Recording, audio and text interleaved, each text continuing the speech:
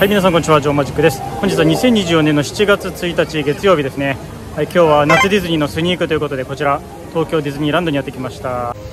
で今回の映像はですね夏ディズニー情報ということで、はい、こちらやってきましたよ。スプラッシュマウンテンでございます。今現在ですねスプラッシュマウンテンはびしょ濡れマックスバージョンという通常よりもずぶ濡れになるバージョンを行っております。ということで今日はですね軽くその情報をご紹介していきたいと思います。プラッシュマウンテンの看板のところですね。びしょ濡れマックス運営中って書いてあります。顔にも思いっきり水がかかりますだって、は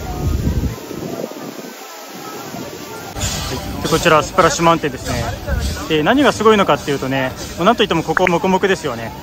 もういつもよりねここ落ちた時の水がめっちゃかかります。ライドが落ちる時の水しぶきにもご注目。ちゃ黙々ですね。ちょっとライドが来てるのかどうかも分かんないぐらいのレベルです。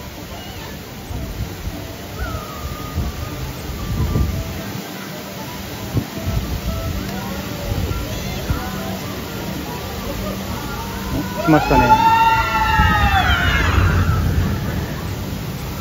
い。ね水しぶきすごいでしょ。でちょうどね落ちた瞬間にこの辺にいると結構かかっちゃいます。バシャーって。今たまたまいなかったですけどね。ここの下通ってるとねすごい水がねバシャーってきます。ちょっとね暗くて見づらいんですけれどもここ滝壺落ちるとねここから出てくるんですけれどもこのね洞窟の中もねすごい水が出てます。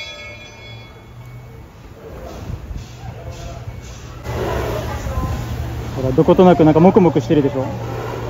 ここのね中もね結構ミストがかかってすごいね水しぶきになってるんですよ。めっちゃびしょびしょになってますね。滝の中でも取ったんかぐらいのレベルで濡れてます。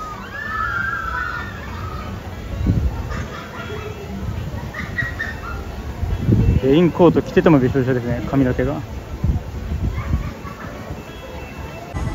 はいということで本日はですね今日から始まりました夏ディズニーのスプラッシュマウンテン。びしょ濡れマックスバージョンご紹介させていただきました通常よりもねめっちゃ濡れるんでねこの暑い時期にぴったしですからぜひね皆さんも来てみてくださいはいということで本日はですねこれで終わりにしたいと思いますジョマジでしたご視聴ありがとうございましたバイバイご視聴ありがとうございました。この動画が面白い、参考になったなと思いましたら、いいねボタン、コメント、チャンネル登録をお願いいたします。